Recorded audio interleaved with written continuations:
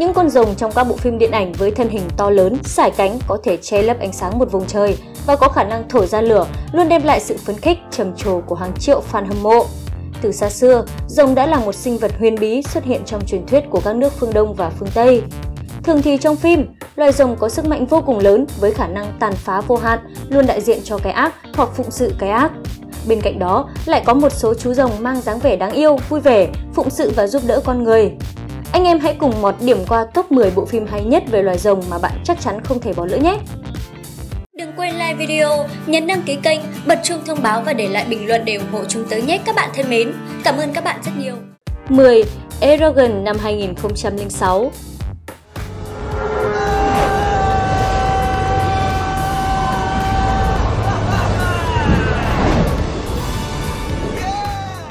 Eragon được công chiếu rộng rãi trên thế giới vào ngày 13 tháng 12 năm 2006 bởi hãng phim 20th Century Fox.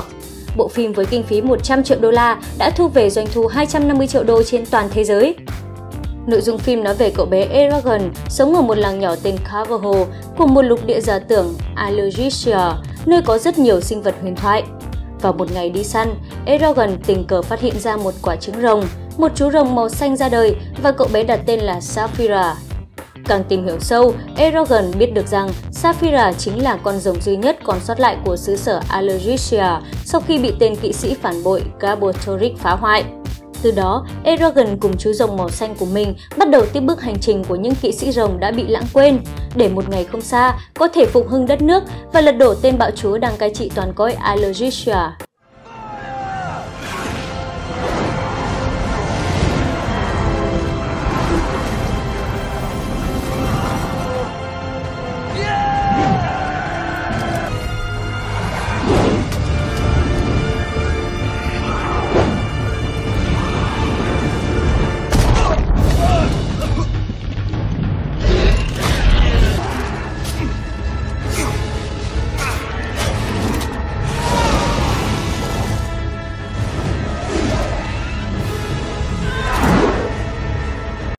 9. Spirit Away năm 2001 This fall, prepare to be Spirited Away một bộ phim rất hay của điện ảnh Nhật Bản mà ở Việt Nam còn có tên là Lạc vào vùng đất linh hồn.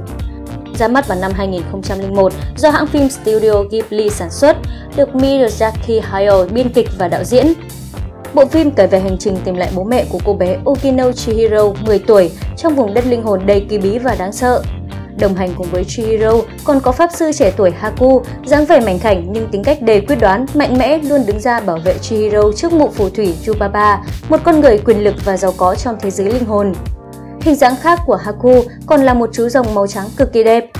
Bộ phim khi phát hành ngày 20 tháng 7 năm 2001 đã trở thành tác phẩm điện ảnh thành công nhất trong lịch sử Nhật Bản, với doanh thu lên tới 289 triệu đô la Mỹ trên toàn thế giới.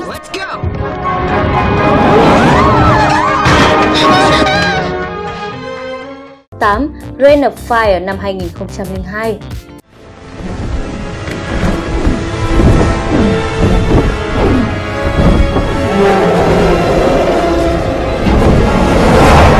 Trong phim Rồng Lửa, vào một ngày tại thành phố London, cậu bé Queen 12 tuổi đến thăm nơi làm việc của mẹ dưới lòng đất. Rồi họ bỗng nghe thấy hơi thở rất lớn và nặng nhọc, hơi thở của một con rồng. Trong lúc đưa Queen lên mặt đất, mẹ cậu bé đã chết 20 năm sau, cả thế giới lo lắng trong sự đe dọa của loài rồng. Họ sống trong sợ hãi và lo âu. Cách duy nhất chính là chiến đấu đến cùng để tranh giành sự sinh tồn. Chắc chắn phim sẽ là một tác phẩm không thể bỏ qua đối với các bạn yêu thích phiêu lưu, mạo hiểm.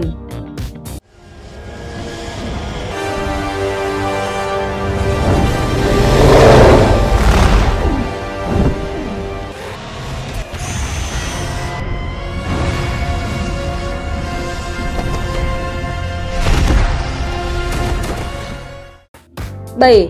How to Train Your Dragon năm 2010 Bộ phim lấy bối cảnh thế giới Viking huyền thoại. Nội dung phim kể về cậu bé Hiccup là con trai của tộc trưởng nhưng lại vụng về, không có tài năng gì đặc biệt.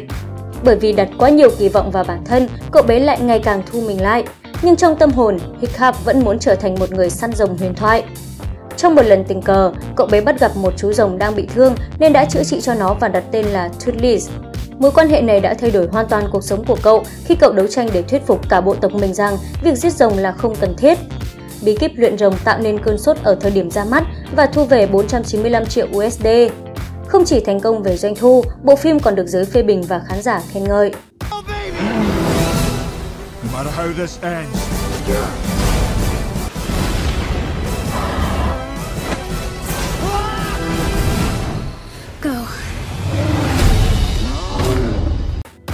6. Peace the Dragon năm 2016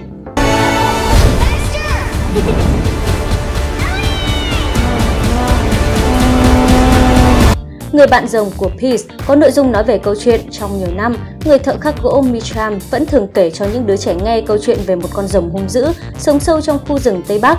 Nhưng cô con gái đang làm kiểm lâm của ông, Grace chỉ xem những câu chuyện trên như cổ tích hư cấu cho đến khi cô gặp Peace.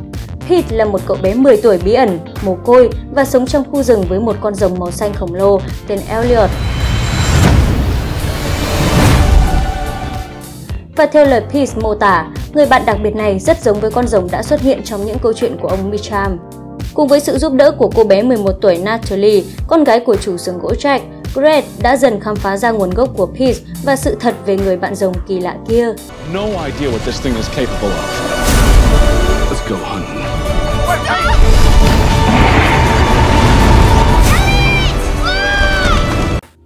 5. Dragon Wars năm 2007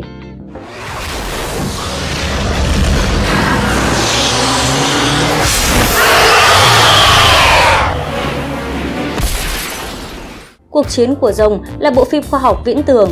Lấy bối cảnh là thành phố Los Angeles bỗng nhiên bị rung động bởi sự tấn công từ một loài quái thú khổng lồ là những loài rồng hung tợn trong truyền thuyết của người Hàn Quốc. Trong cuộc hỗn loạn đó, chàng trai phóng viên truyền hình Ethan chợt nhận ra thân phận kiếp trước mình chính là một chiến binh. Và giờ đây, nhiệm vụ của anh không có gì khác hơn là phải đứng ra bảo vệ con người.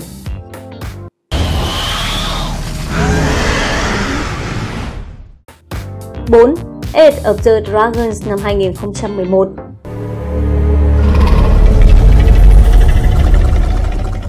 Phim Thời đại của rồng là câu chuyện được đặt trong một thế giới thần thoại, nơi thuyền trưởng Ahab và phi hành đoàn săn rồng của ông đi săn những con rồng hung dữ theo lệnh của nhà vua để bảo vệ cho vương quốc của mình. Ismail đã bị lôi cuốn và đã tham gia nhiệm vụ của họ, nhưng anh đã nhận ra rằng mục đích của chuyến đi đã bị Ahab chuyển thành âm mưu đen tối, đó là tìm kiếm con rồng trắng để trả thù vì nghi ngờ nó đã giết gia đình ông khi còn trẻ. Cô con gái nuôi của Ahab lái phi hành đoàn sâu hơn vào bóng tối, khi vào trong hang ổ của rồng trắng, bí mật của Ahab bị tiết lộ và Rachel phải lựa chọn giữa việc đi theo cuộc tìm kiếm đen tối hoặc bỏ trốn đến một cuộc sống mới với Ismail. Sự nguy hiểm bắt đầu.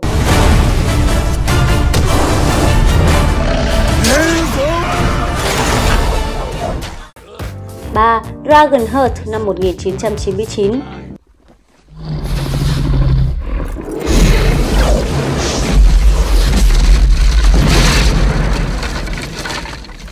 Dragon Heart được coi là bộ phim hay nhất về đề tài loài rồng. Bối cảnh của bộ phim được tái hiện tại nước Anh vào thế kỷ 10 dưới thời vua Arthur. Sau khi vua Arthur băng hà để cứu lấy hoàng tử Aenon, hoàng hậu đã phải nhờ cậy đến con rồng thiêng trong hang sâu có tên là Draco. Draco đồng ý sẻ đôi trái tim mình chia sẻ cho hoàng tử với hy vọng tương lai hoàng tử sẽ là một vị vua tốt. Nhưng từ đó, với trái tim rồng trong mình, hoàng tử Aenon lại trở thành vị vua tàn bạo, luôn tìm mọi cách giết Draco, khiến chú rồng thiêng này mất đi niềm tin vào con người. Nam diễn viên kỳ cựu Sean Connery chính là người lồng giọng cho chú rồng Draco. Bộ phim giành được một đề cử Oscar về kỹ xảo điện ảnh.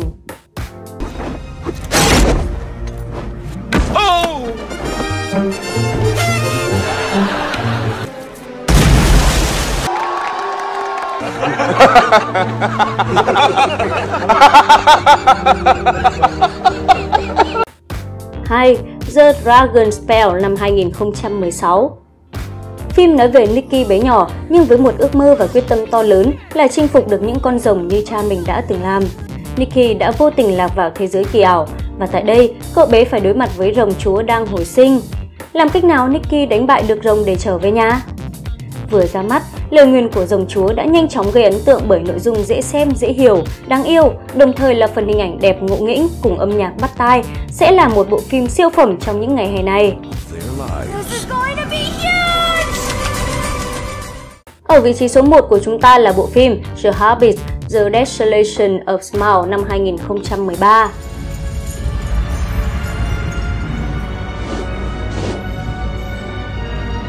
Nếu bạn là một người đam mê nghệ thuật điện ảnh, thích thú với các bộ phim phiêu lưu mạo hiểm, thần thoại thì chắc chắn không thể không biết đến phim. Được sản xuất vào năm 2001. Và tiếp sau đó, ba phần của The Hobbit được đạo diễn Peter Jackson kể tiếp câu chuyện trước đó của phim Chúa tể của những chiếc nhẫn. Ba phần của bộ phim kể về hành trình của những người lùn tìm lại quê hương của mình. Đặc biệt trong phần 3, năm 2013, có sự xuất hiện của con rồng Smaug, một con rồng tàn ác có sức mạnh khủng khiếp trong quá khứ, nó đã đánh chiếm lấy vương quốc của người lùn, tàn sát người vô tội để chiếm lấy kho vàng bất tận cho mình. Smaug được lột tả với lớp da bò sát sần sùi, đôi mắt vàng sắc bén, giọng nói trầm bổng theo cảm xúc, đã lột tả được một sinh vật đáng sợ và hung tàn nhất mà chúng ta từng biết. Phim cũng là bom tấn phòng vé với doanh thu 958,4 triệu USD trên toàn thế giới,